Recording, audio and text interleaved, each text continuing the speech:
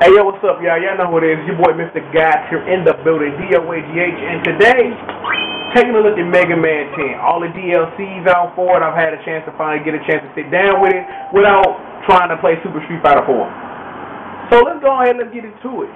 Mega Man 10 the game that surprised the world, honestly, because I really didn't think it was gonna happen. But you know, I'm really glad Capcom did it. That they do see this as a viable game to come back to to make another one, and I do appreciate that. Now, here's our story, and I'm just gonna try to summarize it quick and try to just interject stuff in between. What had happened was, Roll not feeling too good right now. She's feeling a little sick, and right about nowish. We gonna see how bad it is. Boom. Roll fainting.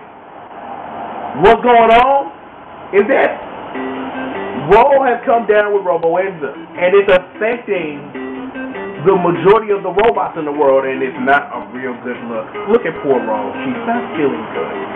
Now, the early plot device would be that Mega Man's not sick yet. Proto Man's not sick yet. Bass is not sick yet because unless they were going to create a whole new hero for the game, they had to not be sick. You know, again, plot device. But you know, enough about that for right now. Is that Mega Man 10, in my view, is that it's a lot different from 9. Not necessarily through gameplay and stuff, but what the game underlyingly tried to accomplish. In my view, Mega Man 9 was to make sure we never forgot Mega Man. Mega Man 10 was created to make sure that we always remember what 1 through 9 brought us and embrace it and embrace 10 and use that to make it a better experience and a better game for you. Now, about nowish, it's about to go down. Um, let's see. Q Riot now. Oh yes, the infected robots have started a saga ride. It's not good. It's not good at all. And then this happens. Now, y'all see this, right? Okay, y'all, y'all seeing the same thing I'm seeing on the screen, correct? We, if you played a Mega Man game before, you know how this is gonna end. So I really don't really think it needs any explanation. All I have to say is Dr. Cossack, Proto Man, um, Mr. X, Bass, King. I don't think I need to say anything further. But I will say this in an interesting twist. The Japanese the Japanese subtitle for this game is called Threat from Outer Space.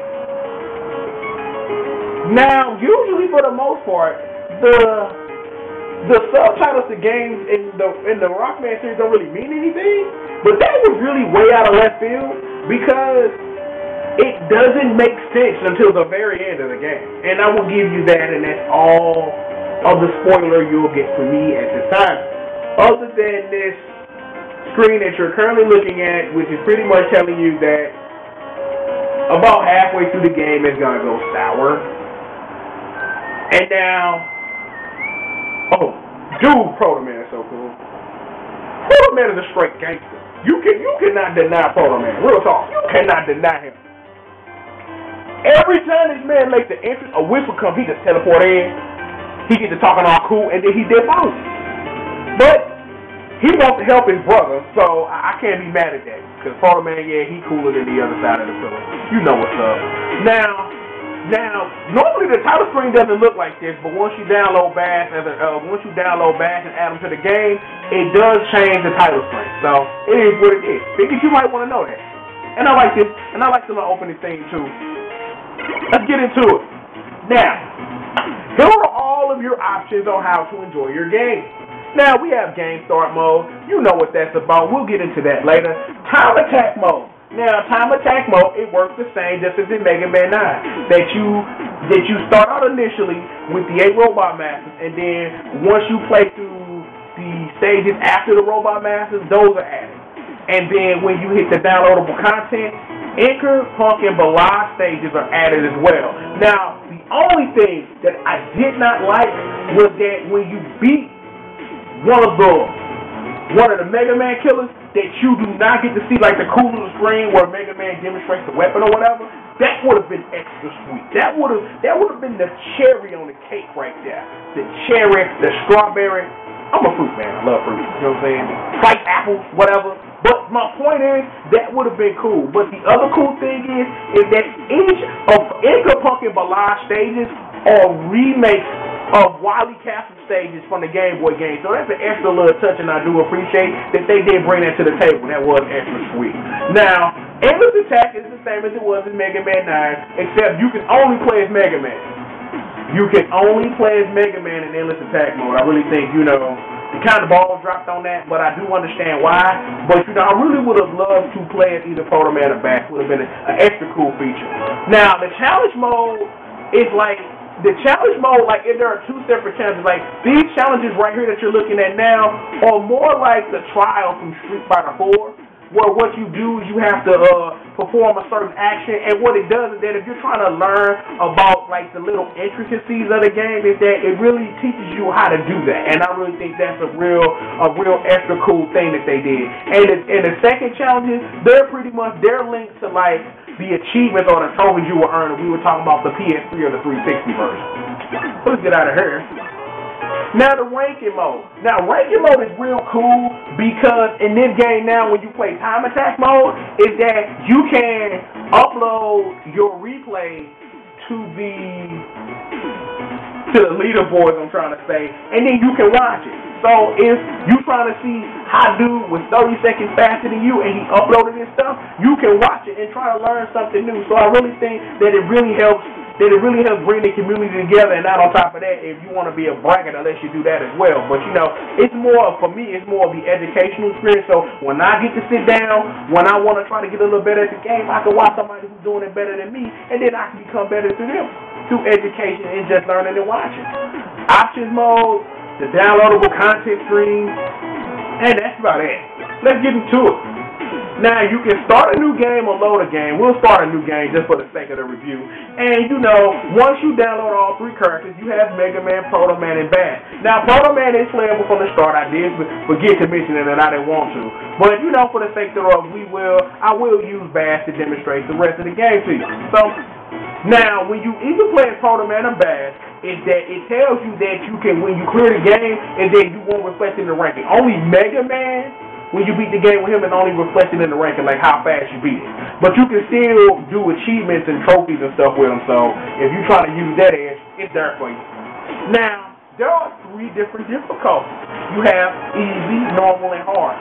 Hard is available when you beat the game once, and easy is always there for you. Now, what I really like about the difficulties is that technically, if you look at it, there are three different games because the games are different in their in their ways, and that there are things that are added. Robot masters function and act, act differently. So my suggestion would be to beat it on all three difficulties. I, I, got, I got, I'm, a, I'm in the middle of a game on hard with Bass right now, so you know, I because ever since Super Battle Four came out, I ain't been able, you know, to do nothing else. So it is what it is. And also, the only thing that'll be reflected in the rankings are, are um, that easy isn't reflected in the rankings. I don't think this time, but it is what it is. Now, here are Robot Masters. We have Blade Man, Chill Man, Nitro Man, Strike Man, Pump Man, Commando Man, Sheep Man, and Solar Man. Now, unlike Mega Man 9, a lot of these robot masters aren't really interesting. I think Sheep Man's cute, you know, what I think pretty fluffy, stuff like that. Strike Man looks like a baseball. Nitro Man, the Transformer. Pump Man, I just think it's something creepy about that, but yeah, whatever. But you know, but it's like the thing was different between Mega Man 9 and 10 is what I'm bringing back to the point is that Mega Man 9 was an experiment. And that experiment was really good, and it was really overly good because I really don't think that Mega Man in the game had a more well-rounded arsenal of weapons that he could use, except technically you could probably say the Wily Tower and in um in Mega Man um in Mega Man and Mega Man on the Sega Genesis because you can pick any weapon you wanted for the first few video games. But Mega Man 9, mm, But Mega Man 10, what it does is it tries to dumb it down a little bit to try to balance it a little bit more. So you get some weapons that are iffy and you got some weapons that are good. But the, the thing about it is that all the weapons take a little more thought and a little more tactic to use in the correct manner. And I really love that about that. But let's go ahead and let's wrap this up. Mega Man 10 gets a 10. And here's why. Remember I told you earlier about the mantra? Remember it is the mantra here. And it's written all over and it's written all over this game. You just have to take a look and look for it. Is that that's what I love about this game, is that is that it gives you these gentle reminders. Remember the Mega Man series. Remember the first nine classic games. Remember the Game Boy games. Remember them before they are the pillars that this game stands on. That's it for me. You know who it is, MrMister.com. I'm out. Holla.